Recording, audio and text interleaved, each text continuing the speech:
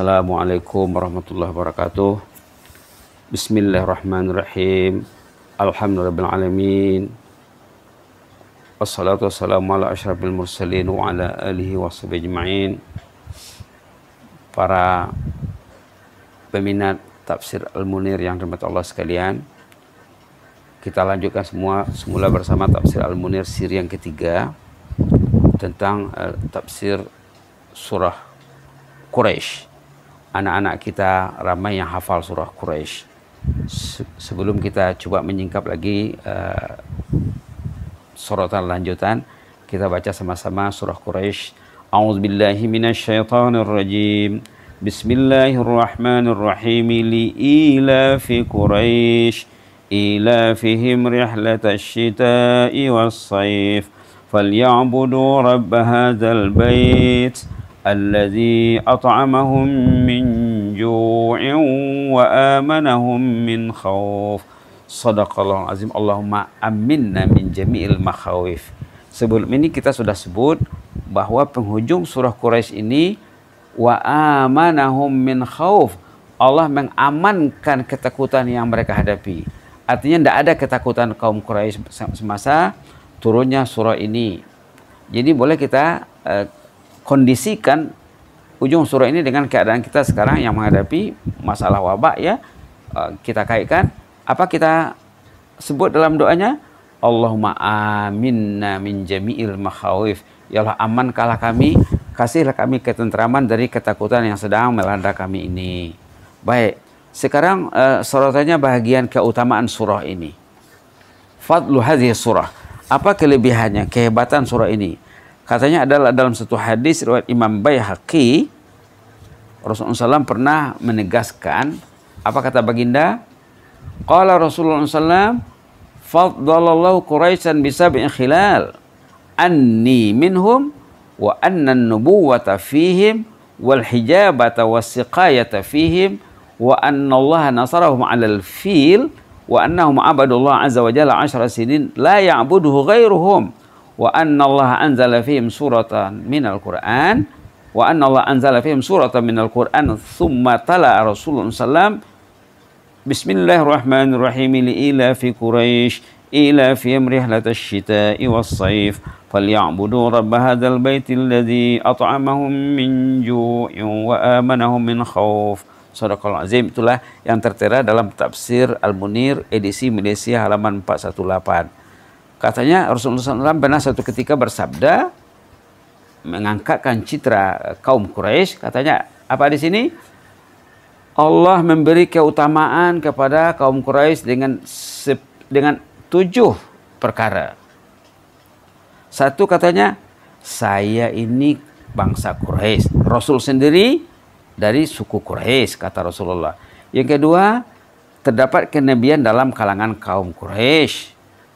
Yang ketiga, Quraisy statusnya penjaga Ka'bah sampai sekarang ya. Yang keempat, Quraisy berkhidmat untuk para jemaah haji.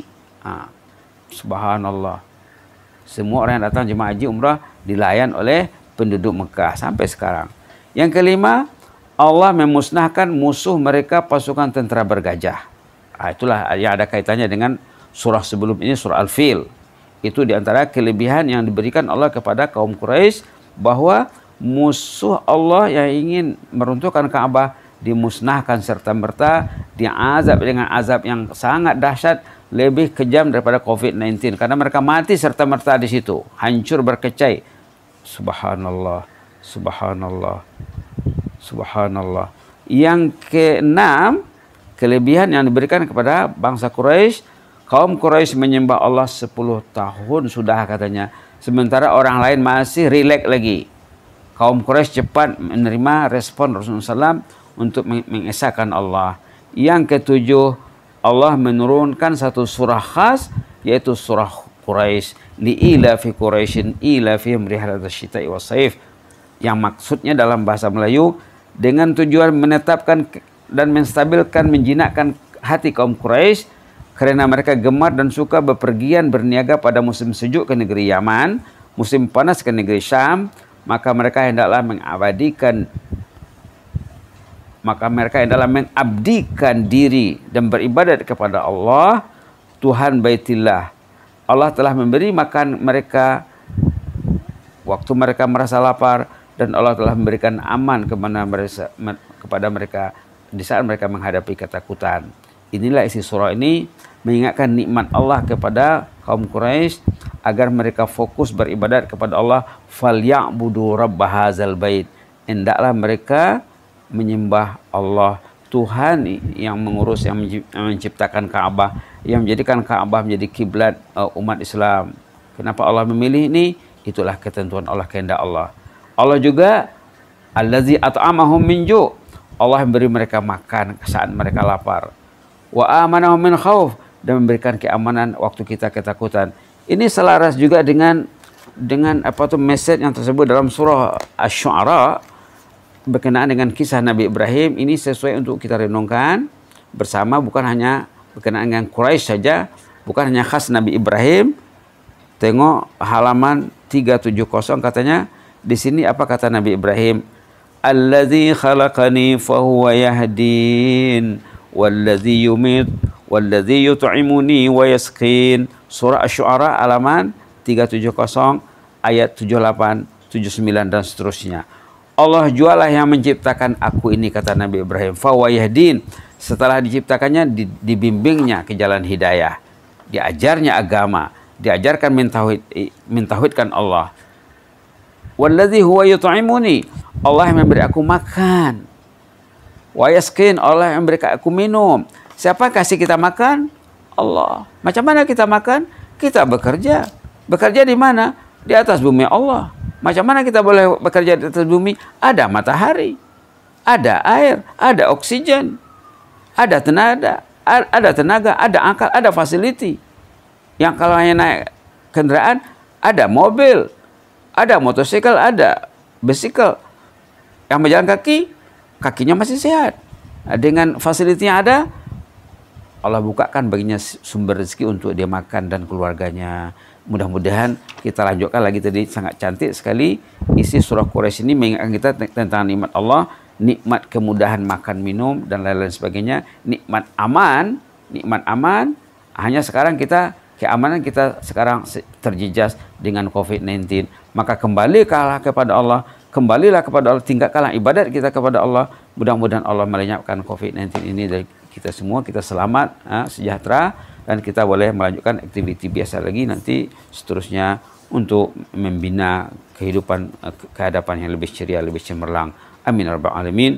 Allahumma zidna wa la tanqusna wa akrimna wa tuhinna wa a'tina wa tahrimna wa athirna wa tu'sir alaina وأرضنا وارضعنا يا كريم. نعوذ برضاك من سخطك وبمعافاتك من عقوبتك.